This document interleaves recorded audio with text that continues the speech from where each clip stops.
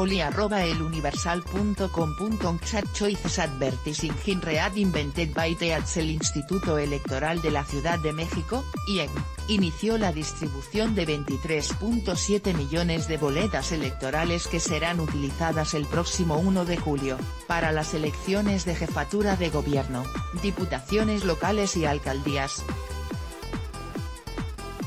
El consejero electoral Yuri Beltrán informó que esta papelería, que incluye 199.960 actas electorales, 437.250 documentos auxiliares y 42.000 mascarillas de sistema braille, será dirigida a las 33 sedes distritales de la Ciudad de México.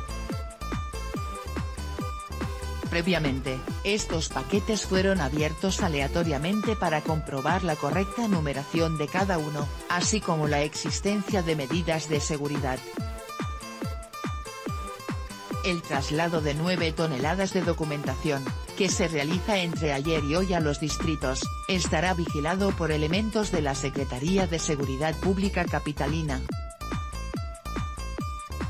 Estamos recibiendo hoy, ayer, 23 millones de boletas y el acuerdo es que mañana, hoy, mismo nos den la totalidad de la documentación.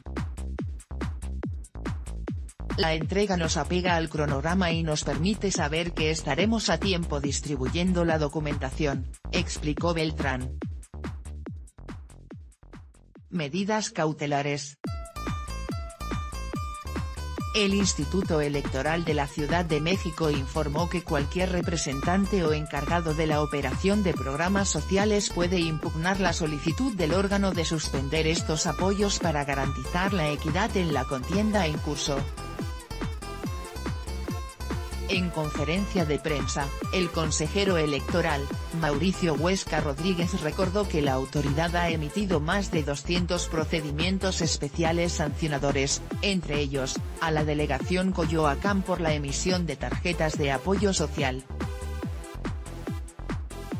Nosotros no estamos prejuzgando si el programa social, en este momento, pudiera generar una inducción o no al voto, lo que estamos generando con la medida cautelar es que a efecto de dar equidad a la contienda, estamos prefiriendo bajarlo temporalmente a 16 días, para que se restablezca una vez concluidos los comicios y generar condiciones de neutralidad.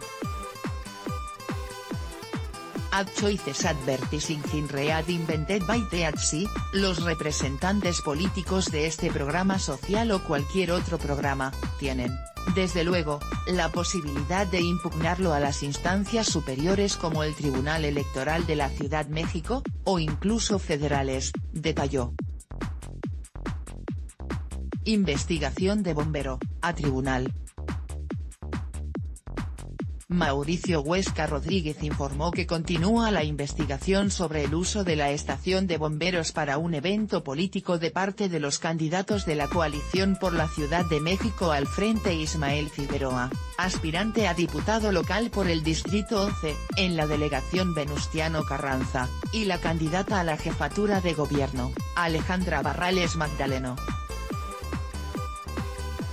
Comentó que la ley prevé un plazo de 30 días, con posibilidad de ampliar a 30 días más, la entrega de la investigación correspondiente al Tribunal Electoral de la CDMX.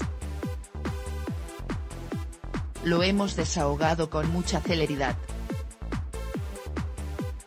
No sé si antes de la elección, entreguemos la investigación, pero será previo a que el tribunal tenga la oportunidad de hacer la calificación de la elección, sostuvo.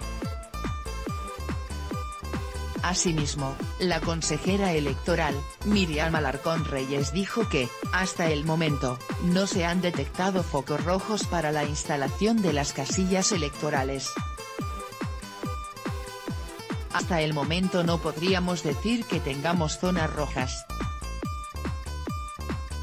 Estamos conscientes de la situación social, sin embargo, a través de los convenios estamos listos en el momento en que pueda presentarse una situación de riesgo.